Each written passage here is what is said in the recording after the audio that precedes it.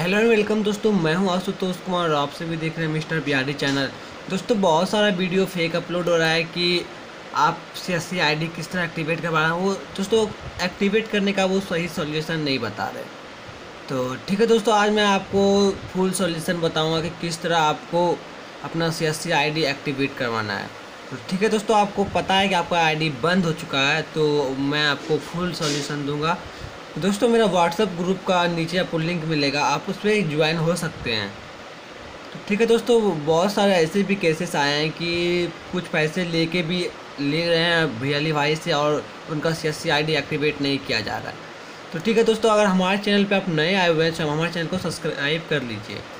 तो ठीक है दोस्तों, आपको सिंपली गूगल पे आके डिस्ट्रिक्ट मैनेजर का C S C district manager search करना है। जो भी आपका आईडी बंद हुआ है दोस्तों, आपको डिस्ट्रिक्ट मैनेजर ही आपका ओपन कर सकता है। अदर अदरवाइज़ कोई ओपन नहीं कर सकता है। अगर ऐसा ही हो सी अगर कुछ अपने साइट पे बदलाव करे रजिस्ट्रेशन साइट पे तो ही अपडेट हो सकता है।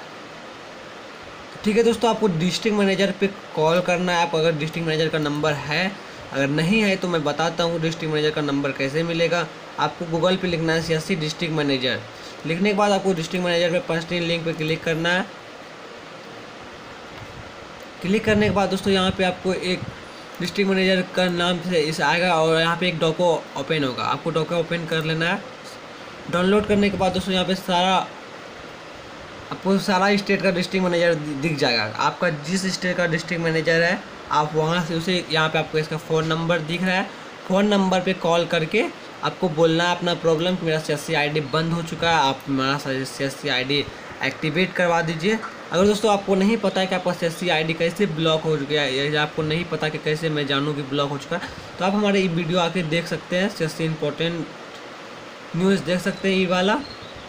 तो ठीक है दोस्तों, अगर आपका सी एस बंद है तो आप इस प्रक्रिया से आप कर सकते हैं। मैं एक बार फिर बता देना चाहता हूँ कि आपको फ़र्स्ट में डिस्ट्रिक्ट मैनेजर को कॉल करना है, उससे बोलना है कि सर मेरा आईडी बंद हो चुका है, मुझे फिर से रीएक्टिवेट करवाना है तो वो वही दोस्तों आपके लिए कुछ कर सकते हैं। अदरवाइज़ कोई किसी को भी पैसा वैसा मत दीजिए और कोई भी ऑनलाइन फॉर्म कहीं भी फिल मत कीजिए। इससे इस हो सकता है दोस्तों, आपका डाटा कुछ चोरी हो सकता है। तो ठीक है दोस्तों, आपको डिस्ट्रिक्ट मैनेजर ही आपका सी एस ओपन करवा सकता है फिर से। ठीक है दोस्तों, फिर मिलते हैं अगली वीडियो के साथ। हमारे चैनल को दोस्तों, आप सब्सक्राइब करना ना ही भूलें। और इस तरह लेटेस्ट वीडियो आपको मिलते रहेंगे। आप हमारे चैनल को सब्सक्राइब कर लीजिए दोस्तों, और थोड़ा सा वीडियो को शेयर भी कर दीजिए। ठीक है दोस्तों, जय हिंद, जय भारत। फिर मिलते हैं अगली वीडियो के साथ।